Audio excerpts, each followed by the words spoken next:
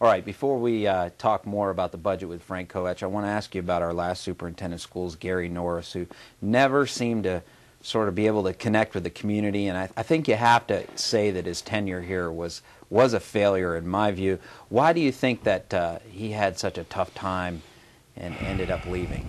Well, we have a, you know, because we've talked about the referendum earlier. I think because of the referendum, we probably much more under a microscope with the community, and the community is a lot more demanding than, and I think that was even before the referendum. And we do have a demanding community that wants accountability, and I have absolutely no problem with that. Um, I think that I thought Gary was a great guy. He was probably the most ethical person I've ever known. He moved our career and technical education light years ahead. I think the biggest concern I had was just lack of fiscal restraint.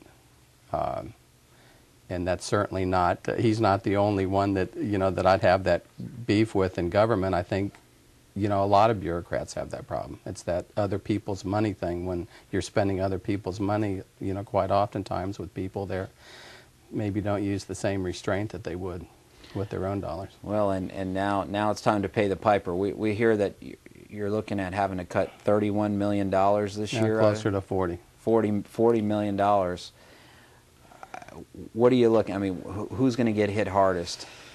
Uh, well, we're doing away with our our data and uh, literacy coaches, who are basically teachers, which means they're going to go back into the classroom. Um, you know, the problem with that forty million dollars, Ron, though, is that only about twelve million of it is reduced state revenues. Uh, our our referendum revenues are dropping about seven million dollars, or at least that's what we think. We're spending about thirteen million dollars in reserves this year, so we need to make up for that. Um, we'll have about a thousand less students next year. That's another over four million dollars. So uh, I mean, you know, there's a lot of cuts, but you know, a lot of different reasons for that cut. I think your average person thinks it's because we got 40 million dollars less revenues from the state, but uh, I think we have, a, like I mentioned to you earlier, I think we have every bit as much a spending problem as we have a revenue problem controversial subject. What about the possibility of cutting teacher pay? I mean, existing teachers. we haven't really gotten to that, and I really don't see that as, as being a need. Probably one of my frustrations with, you know, when we went out for the referendum was, you know, the public said they wanted to increase teachers' pay, and I think everybody agrees that we should increase teachers' pay.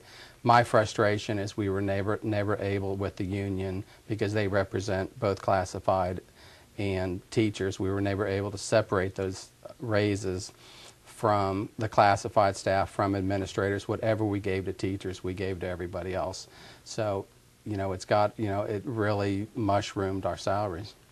I read, I read also that the legislature, somebody's proposed a bill in the legislature that will allow school board members and the superintendents of schools to voluntarily take pay cuts. Did you hear about that? I've heard I've heard rumors, and we went through that back in 2002 or something, and it had more to do, at least at that time, because uh, school board members were making more money than state representatives were making, and. But neither one frankly, really makes think, a whole lot, right? No, but quite frankly, I think we do a better job. I think we work harder. What do you think of the FCAT? Uh, I think it's a it's a terrific tool for accountability. Uh, I don't think that uh, uh, I'm not really happy with the way the money's tied to it. Sometimes you see schools get it, and and um, you know not so much. It can be as much about where the school is and who their student population is, is you know actual uh, increases in student achievement. But I think as a taxpayer, which we all are, I think it's a great tool for accountability, and I think we should have it, and I think we're going to continue to have it. And I really haven't heard too many people think we should do away with it. And you know, the reality is, you go to any state in the country just about, and they have a form of an FCAT for accountability. If you could be the uh, absolute king for a day or the dictator over the school system, and you had nobody to answer to, and you could change one thing about the Sarasota County school system, what would it be? Well, I've always been frustrated with the fact that we promote and retain based on seniority. I think we should promote and retain based on uh, quality of the work ethic and the, uh, their abilities and their strengths. And, uh, you know, we lose some very young and very bright teachers as well as other employees based strictly on seniority. And coming from business, I think that's a really poor way to make personnel decisions. So you would you would you would allow maybe the principals and stuff to make I think so, and I, you know, I have, uh, you know, I'm probably one of the few that don't have a problem with performance pay. I think we should give raises based on performance too, which is uh, a definite no-no in the in the uh, district that we're in. All right, Frank, you got some tough work ahead of you. Thanks for coming on the Yep, show. Thank you very much for having me. That's Clout 941. Next week's guest is going to be uh, is going to be Nathan Lee, who is the husband of, um, of murder victim uh, Denise Lee, and he's going to talk about his problems with the 911 system in Florida. See you next week.